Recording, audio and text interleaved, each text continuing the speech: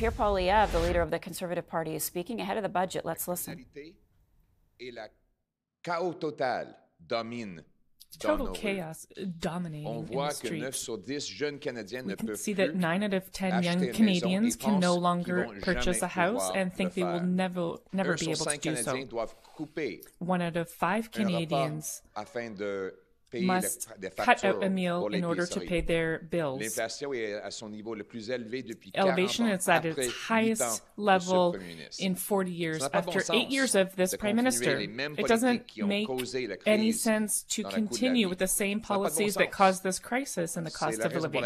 It makes no sense. que coup bien, That's why today I'm announcing that ces hausses de taxes, Justin Trudeau must cut these tax increases and ou bien le, increases to the inflationary deficit. contre son budget. or the Conservative Party will vote against his budget. sens de continuer de taxer It doesn't make any sense to sur les gens continue to travaillent fort. Le tax people working hard. Pour les gens qui travaillent The country is no longer working for people who are working hard. It makes sense to make a change. We must, to do this, we must reduce taxes et les Canadiens so that it pays to work. And so that Canadians can once again buy homes, affordable food, a pris pour and other needs, l'arrivée en pouvoir things that we took for granted Donc, c'est de gros bon sens. before Justin Trudeau came into office. Défendre les consommateurs, les contribuables, les Canadiens Conservatives will be et nous allons le defending faire dans ce taxpayers and Canadians who work hard, and we will do this in this budget and once I Thank you am Prime much. Minister of Canada. We had a deal. We had a deal. Very simple deal. You work hard, you get a, you get a nice house, you get good food, good living, and a good life. That deal, just like everything else in Trudeau's Canada, is broken.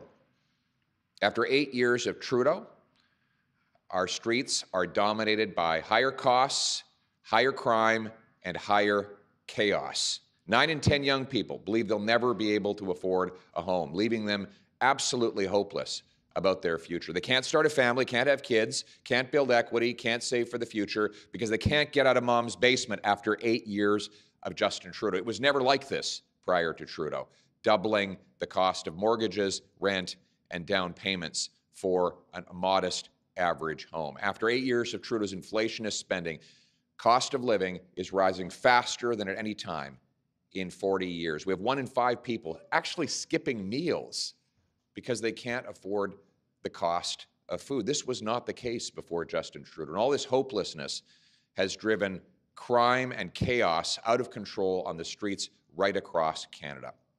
Enough.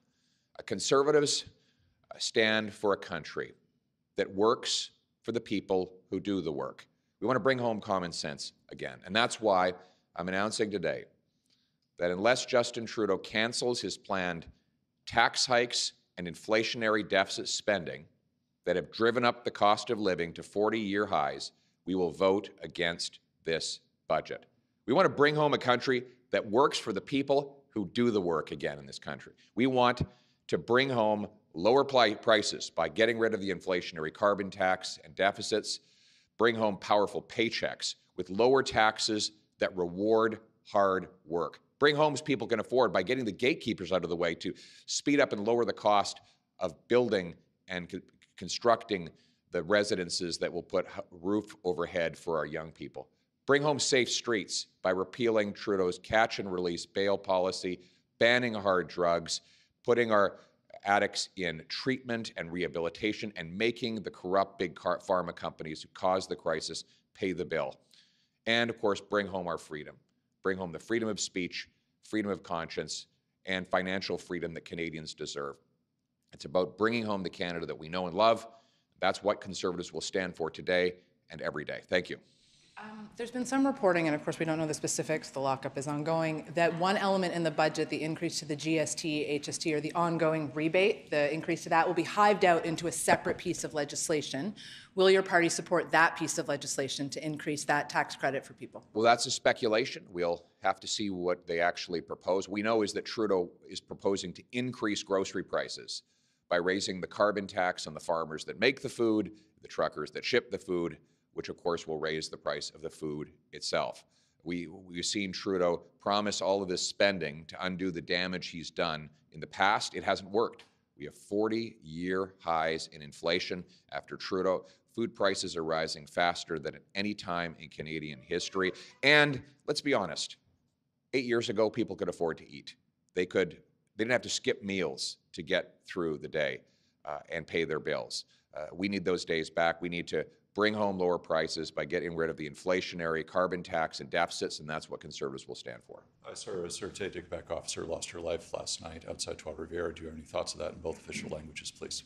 Uh, oui, euh, nous offrons euh, nos condoléances. Yes, we extend our condolences to the family. voit, Des, des tragédies Once again, we're seeing tragedies that de plus en unfortunately plus souvent are becoming more and more frequent in Canada. Nous devrions donner notre respect et amour We should give our respect and love to the police euh, officers who protect us. va mettre en œuvre The Conservative Party protéger la sécurité de would implement policies that would protect the safety of all obviously, our hearts citizens, go out to especially police officers. and uh, to all police officers who collectively mourn this incredible and unfortunately more common loss. We're seeing these kinds of tragedies happen more and more than ever. Uh, conservatives will stand beside all of our police. We'll put in place policies that will protect Canadians against this raging uh, crime wave, and uh, most of all, protect our police officers who put it all on the line for us every single day. Anybody else? I can ask another question. Go ahead. Yeah, just quickly, uh, sir. I'm looking for bullet points from you as we go wait for the budget to come out. What do you want to see in this budget? Do you want lower taxes? What, you know, just, I'm trying to boil it down into, in a broadcast usable chunk, if you wouldn't mind.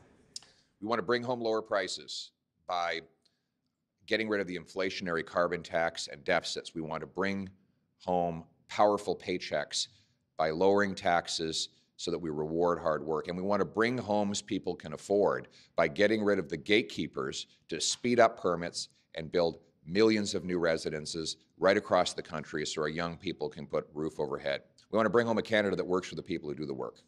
What do you think about the, I mean, we've heard that there's going to be incentives for green infrastructure, green investments to compete with the Inflation Reduction Act in the States.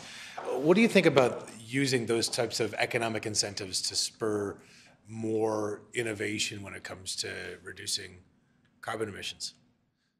Well, we, we do need to bring down the cost of low and no carbon energy, but this, that starts with getting the government out of the way and off the backs of our workers and industry.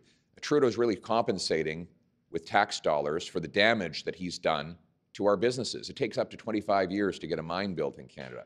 No wonder the number one ingredient for electric car batteries, lithium, is in abundant supply in Canada, but we didn't mine a single tablespoon of it in 2021. Why? You can't get a mine built.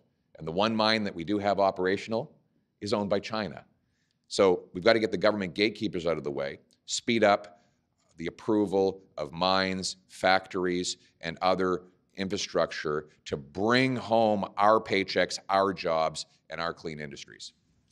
How do you see defense spending fitting into all of that? I mean, that's one area where there seems to be cross-partisan support for increasing our defense spend, but that, I mean, that's money spent on one thing that could be taken out of some of the measures that you, you know, you've hinted or you say you'd like to see. We have to bring the money out of the back office to the front lines. The dollars should go to the soldiers, sailors, airmen, and airwomen, not to more bureau- back office bureaucracy or expensive uh, procurement from uh, large corporations. Uh, that is the solution. It's to make get more bang for buck, not just to bloat the back office bureaucracy and call it national defense. Thank you very much. Are you for the new patrol planes? All right, we were just listening to Conservative leader